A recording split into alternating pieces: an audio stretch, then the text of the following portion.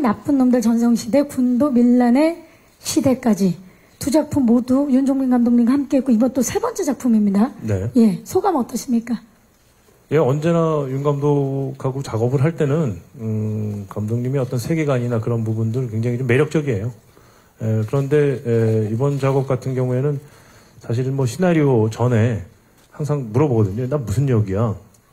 그랬더니 뭐, 뭐 하자 그러니까 그럼 어떤 역을 시킬 건데 궁금하죠. 네, 예. 그래서 안기부 요원이래요. 음. 그럼 일단 뭔가의 어떤 선입견이 딱 들죠.